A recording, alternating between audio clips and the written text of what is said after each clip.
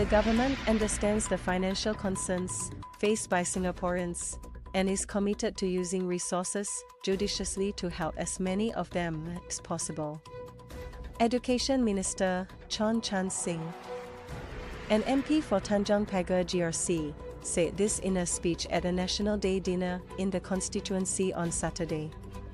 Speaking to about 800 residents, grassroots leaders, and clan representatives, he said the government will fund the country's increased spending needs in a sustainable way.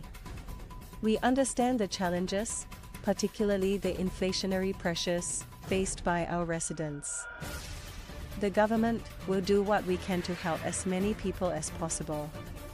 Mr. Chan said he also understands that many are concerned about recent developments in the political landscape. He said some have asked what has gone wrong, while others have wondered if the government is able to make things right. While he did not specifically refer to any cases, most in the audience understood he was likely referring to the recent high-profile cases involving political figures. He told the audience, you can have our assurance that this government will make sure that we handle all these issues transparently, fairly, to continue to earn the trust and confidence of our people in Singapore and our international partners. He said being upfront with Singaporeans and not hiding anything from them are important steps. Are we able to run, maintain and keep improving our political system that inspires confidence in the next generation for us to attract the best and most committed people to come forth and serve? This is the larger reason why we are doing what we are doing. The dinner, held at Tanjong Pagar Community Club, was organized by the Tanjong Pagar Tiong Bahru grassroots organizations.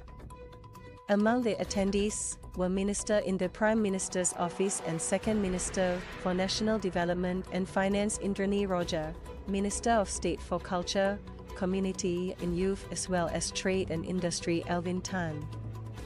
Ms. Joan Pereira, an MP for Tanjong Pagar GRC, Senior Parliamentary Secretary for Culture, Community and Youth Eric Chua, National Trades Union Congress Assistant Secretary General Melvin Yong, and former MP Koo Tsai Kee. Tanjong Pagar GRC and Radin Mas SMC grassroots leaders were also present. Mr. Chan told the audience that Singapore faces three issues its relevance, cohesion, and political system and leadership. He said the greater the uncertainties of the world, the more local and international businesses will look for places where they can mobilize their capital safely, aggregate their talent and protect their intellectual properties. He added that these are areas where Singapore can distinguish itself and continue to attract the investments necessary to create good jobs for the next generation. Said Mr. Chan, you can be assured that the government is thinking very seriously and putting in place the necessary measures to make sure that Singapore can continue to remain an attractive location for international businesses.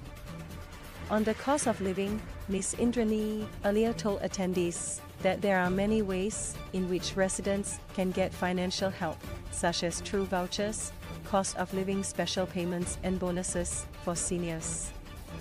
She said the government will continue to roll out support for the rest of the year, while keeping an eye on the cost of living. It will also continue providing support for families.